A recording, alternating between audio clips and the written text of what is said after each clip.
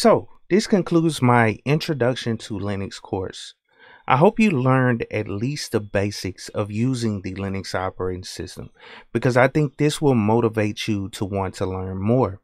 And throughout my years of working in the IT field, I have always heard people say that learning Linux is too confusing, and I hope this course dis- dispels that myth. So make sure you keep practicing because the way to become a guru is to keep using Linux. So I hope you have a good day and keep it techie.